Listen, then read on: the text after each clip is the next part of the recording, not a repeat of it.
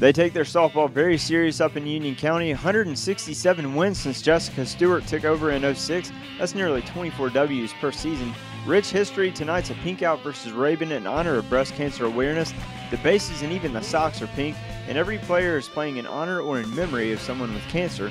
Laken Chambers, a freshman phenom, finds an early strikeout victim in the first.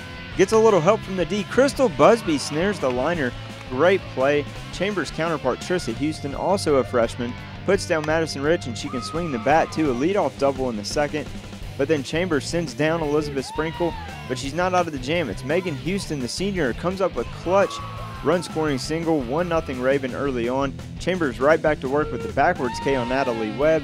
And then it's the bags full of Lady Panthers in the bottom half. And Allie Stroman, the game's biggest hit, goes opposite field with some power, finds the gap, and all three runners will cross the plate. Just like that, it's Union County on top 3 to 1.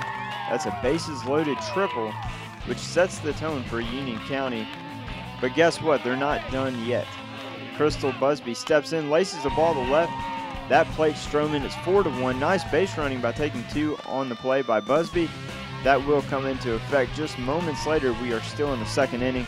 Madison Rich looking to redeem herself from the previous at bat. She also goes oppo. That gets down and Busbee scores easily. Lady Panthers take the 5-1 lead, and that's all Chambers would need. She's right back to work. Just blows away Karsen Garrett, then gets the leadoff hitter yet again.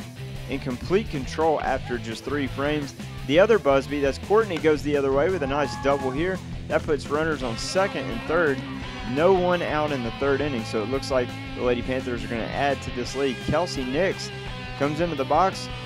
Check it out. Grounds one right back up the middle. That makes it 6 1. They would add one more before the inning was finished on an RBI ground out. Chambers then gets her 6K on a swing and miss. And check out a scary moment here. Two bits of good news though. Crystal Busbee comes up with the catch, but more importantly, no one's hurt. So the bottom five we go. We cap it off with Johnah Langston off the bench. Goes the other way on an 0-2 pitch, brings home two more. That makes it 9-1. Close play at the plate, but the ump right on top of the play. A walk-off with the run rule in effect after five innings. Lady Panthers move to 9 and 3 and a perfect 6 and 0 in Region 8 AA with a win.